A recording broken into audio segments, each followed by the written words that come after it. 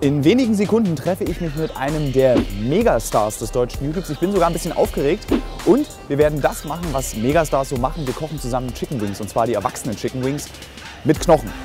Mit Knochen. So sieht's aus. Schönen guten Tag. Servus, alles klar. Äh, wir gehen jetzt die Zutaten kaufen. Wir gehen jetzt äh, die Zutaten kaufen für die ultimativen Chicken Wings. Ich würde mal sagen, wir sind ziemlich hungrig. Ja. Ein Kilo Hähnchenflügel bitte. Um das Ganze zu versüßen. Ah, hier sehe ich doch schon. Wir nehmen einfach hier den türkischen Honig hier. Ja. Nehmen wir mal mit, probieren das Ganze einmal aus. Ne? Ich folge dir Alles klar. in die Küche. In die Küche. Gut.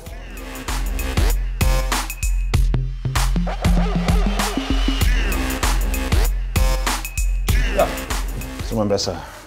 Hier findet der Zauber statt.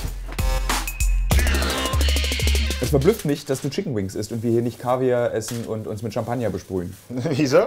Ich weiß nicht, weil äh, Megastars machen sowas oder sind YouTube-Megastars anders als Fernseh-Megastars? Ich mache halt so, ich mache halt mein Ding halt äh, und verfilm das, was, also verfilm's halt quasi. Ja, also ich muss sagen, als ich nach Deutschland kam, hat sich meine Familie wirklich sehr gefreut. Hey Bruder, was geht ab? Komm her, lass dich mal umarmen. Mein Bruder war sogar ganz besonders happy. Und seine Umarmung kam wirklich vom ganzen Herzen. Ach, er ist wirklich ein guter Junge. Michi, äh, ich suche mein Portemonnaie. Hast du das zufällig gesehen? Da war genau so viel Geld drin, dass man sich eine leckere Salami-Pizza bestellen könnte. Nee, Mann, tut mir leid, ey. Hab ich nicht gesehen. Du bist wahrscheinlich wie viele deiner YouTube-Kollegen auch eher kritisch dem Fernsehen gegenüber eingestellt. Früher hätte ich gesagt, ich will niemals ins Fernsehen. Ähm, einfach aus dem Grund, weil im Fernsehen, das ist immer alles so, dann musst du dich verstellen. Aber ich nehme es auch dem Fernsehen nicht übel, weil du willst auch die Masse erreichen. Ja. Bei mir ist so halt, da schalten ein paar Leute ein, die das sehen wollen. Und die es nicht sehen wollen, die schalten nicht ein. Das heißt, du kannst gar nicht hundertprozentig echt sein. Das funktioniert dann meistens gar nicht. Und ähm, ich finde es halt nur cool, dass man halt im Internet genau das machen kann, was man möchte. Glaubst du, das ist die, die Zukunft der Entertainer, wenn ich das jetzt mal unter diesem Begriff zusammenfassen kann, dass sie sich auszeichnen dafür, dass sie echt sind? Es gibt zwei Möglichkeiten. Die erste Möglichkeit wird die sein, dass quasi äh, das Internet einfach nur so irgendwann triumphiert. Das heißt, dass gar keiner mehr Fernsehen guckt und wirklich alles noch im Internet stattfindet und alles sich vermischt. Das ist die erste Möglichkeit. Die zweite Möglichkeit ist der Urknall. Jetzt kann ja quasi jeder Hans und Franz kann bekannt werden. Ist einfach so. Das ist ja unaufhaltsam sozusagen. Das heißt, wenn du cool ankommst, dann wirst du bekannt. Ja. Ich könnte mir auch vorstellen, dass das irgendwann wieder gebremst wird, weil quasi die äh, Filmindustrie oder allgemein das Fernsehen, die finden das ja nicht gut. Ja. Quasi früher wurde ja, bestimmt, wurde ja bestimmt, was du siehst. Und das ist ja jetzt nicht mehr der Fall. Kann sein, dass es irgendwann so ausartet und dass es halt dann irgendwann wieder eingeschränkt wird. Glaubst du, dass sich der, der Internetmarkt vielleicht auch sogar selbst frisst, wenn jeder bekannt werden kann? Ja, Weil das- es gibt ja dann so, vielleicht gibt es irgendwann so 5000 Alberts im Internet, die davon erzählen, wie es ist zu sein und zu leben und äh, aus einer schwierigen, aber und sehr wichtigen Kindheit ein YouTube-Star zu werden. Was ist, wenn es davon zu viele einfach gibt? Weil das Fernsehen reglementiert das ja ganz streng. Keine Ahnung, es gibt halt 10.000 Leute, aber es gibt halt wenig Leute, die dann wirklich auch halt äh, herausragen sozusagen Ja. von denen. Die Frage ist jetzt natürlich, ob das jetzt halt so bleibt, dass wirklich jeder nach oben kommen kann und dann halt die Besten kommen halt nach ganz oben Ja. oder ob das halt wieder gebremst ist. Deswegen ist, Ist- es so eine Geschichte. Ist ganz oben da- das Internet verlassen und ins Fernsehen kommen?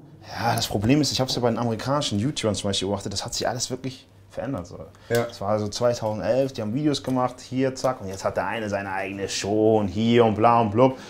Deswegen ist immer so eine Geschichte, so, dass ich, du hast echt keine Ahnung, wo das Ganze hingeht, weißt du? Du hast gebeatboxt zusammen mit Pharrell, mit Timbaland vor Publikum. Ist es sowas, was dir auch hilft im Internet, dass du einfach so keine Furcht hast, keine Furcht kennst? Nee, nee, ich, hab ex, ich bin extrem, ich habe extrem äh, Lampenfieber und so. Wirklich? Ja, also richtig. Ich mag es auch nicht in der, in der Öffentlichkeit, wenn Leute kommen und so. Das kommt noch aus der Kindheit.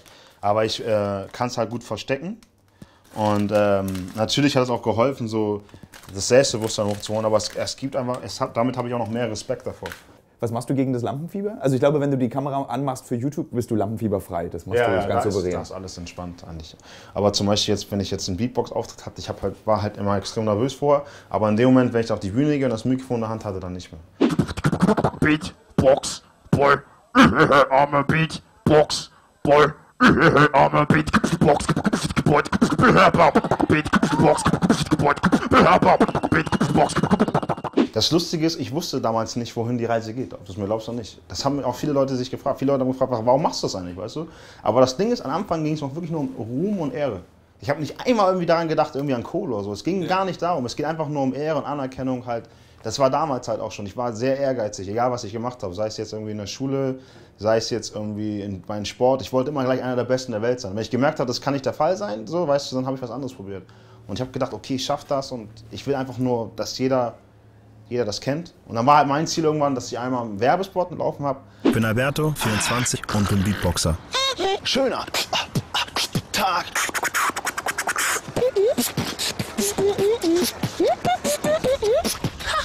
Schmeckt's? Pommes. Rot-Weiß.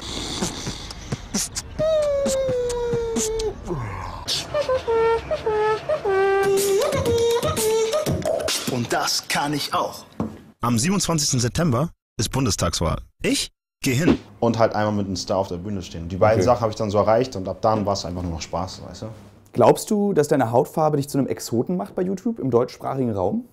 Natürlich auf eine Art schon, äh, auf Art auch wieder nicht, weil ich bin ziemlich, ich bin ziemlich deutsch aufgewachsen. Ich habe mich gefragt, sozusagen, wie viele Anfeindungen du dich stellen musst. Oh, am Anfang war es schon hart, ne? Also im Internet ist ja, da wird ja jeder fertig gemacht, da Ja. kann ja jeder schreiben. Natürlich, dann steht da ein Schwarzer, so, da ist die N-Bombe schon echt gut oft gefallen. In letzter Zeit aber eigentlich irgendwie lustigerweise dann nicht so. Wenn du damit nicht klarkommst, dann musst du halt auch was anderes machen. Aber eigentlich fällt mir jetzt gerade auf, während ich mit dir spreche, dass die Regel, berühmt zu werden bei YouTube oder über YouTube, die gleichen sind wie überall. Du musst ehrgeizig sein. Mittlerweile Das ist sozusagen- schon. Du musst einfach ehrgeizig sein. Was ich einfach nur persönlich schade finde, so dass bei YouTube ein bisschen so, dass früher dieses Feeling kaputt gegangen ist. Ne? Also man weiß jetzt, dass man dann halt Geld machen kann. Da sind jetzt richtige Produktionsfirmen hinter und so. Und das bringt das Ganze dann irgendwann jetzt auch wieder auf dem Fernsehlevel, dass es irgendwann auch so wieder sein wird, dass quasi jemand anders bestimmt, wen man sieht. Und nicht so wie damals, als ich jetzt angefangen habe, weißt du, dass jeder das quasi so machen konnte. So, weißt du, ah, das ist so ein Typ, der macht da Videos im Internet. Was, im Internet? Echt jetzt so? Das wird, wird nochmal eine richtig interessante äh, Wendung nehmen. Das ist jetzt nicht schlecht, das sage ich Ja. jetzt nicht so, weißt du. Aber dann geht es halt auch wieder schon wieder in Richtung Fernsehen. Und deswegen sage ich auch, ob irgendwann dieser Urknall kommen wird oder nicht, das weiß man nicht so. ne? Ich bin wahnsinnig hungrig.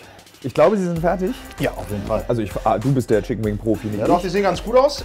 Ein YouTube-Star in Deutschland muss ungefähr so sein wie einer von diesen Chicken Wings. Extrem knusprig, wahnsinnig lustig. Und das ist die bescheuertste Abmoderation, die man sich vorstellen kann. Aber nicht zu scharf. Und guten Geschmack. Vielen Dank.